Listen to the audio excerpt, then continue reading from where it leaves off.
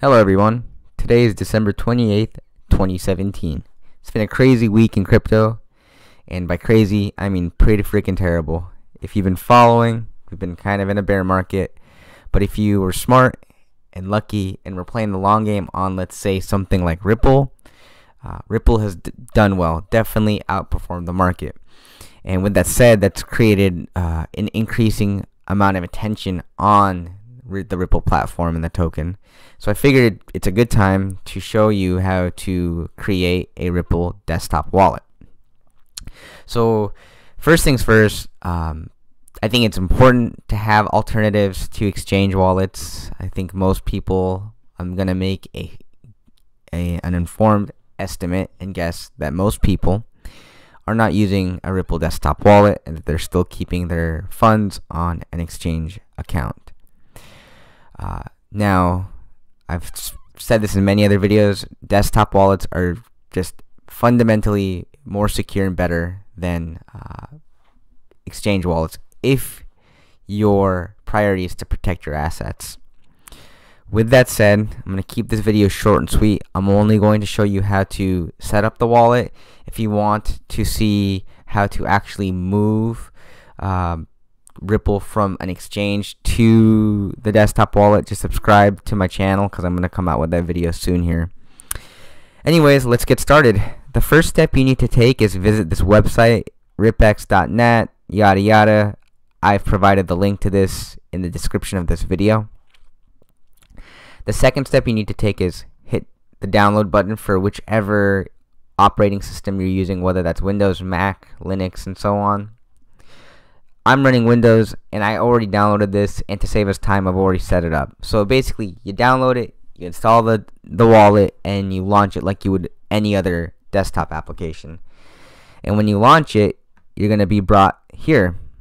So um, you can you can have all these different options, right? Uh, server settings, submit transaction, cold wallet, read-only mode. But the one we care about for this video is open account. So uh, basically, the next step is to create new account. And uh, out of these three options, you want to do create an empty account.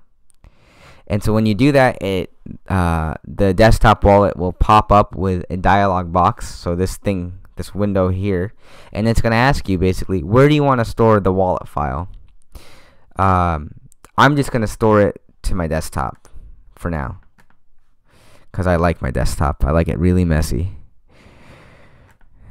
okay? And now um, that wallet file is important and you need to back it up somewhere because if let's say your computer just stops working one day or it crashes or you forget your password or anything like that you'll need that wallet file to recover your Ripple wallet on any other device.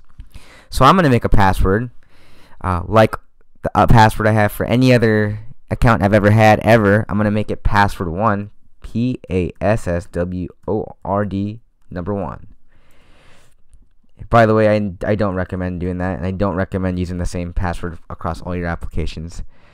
But uh, for the demonstration purposes, I'm doing that. So uh, set my password, and the next thing you need to do is you need to encrypt your account by clicking this button here, encrypt account.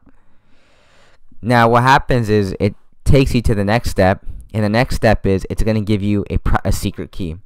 So it gives you a note here, like read it, okay? Uh, but in a nutshell, if you ever lost your password, the only other way to recover your wallet is to have your secret key. And if anybody has your secret key, those people or whoever can steal all of the Ripple associated with the Ripple wallet. So you click on show secret key and it says, are you in a safe place where no person or camera can see your screen? Okay, this matters because like I said, if anybody gets a hold of your secret key, your Ripple is likely going to be toast. So I'll say, yes, show me. And you can see the secret key. I'd say, write this down, store it in a safe place, uh, and don't forget it. And then I'll say, yes, I saved my secret key. Uh, now, I'm in my wallet. I can see my balance, history, contacts. Um, I can you can see your address here. And from here, you can send Ripple to a particular address and you and then you if you want to have people send you Ripple, you just have them send it to the addresses up here. Um, that's really it. I, I think uh, for a beginner, your most of your time is going to be spent in overtime. I'm sorry, not overtime. Overview. Gosh, balance, history, send. I think this is going to be where most of your time is spent. Um, so that's where I'd focus for now. If you have any questions, go ahead and comment them in. Um, otherwise, keep an eye out for my future videos about Ripple technologies and applications. Um, and keep keep following and subscribing to this channel for some great cryptocurrency knowledge. Thanks and have a good day. Bye.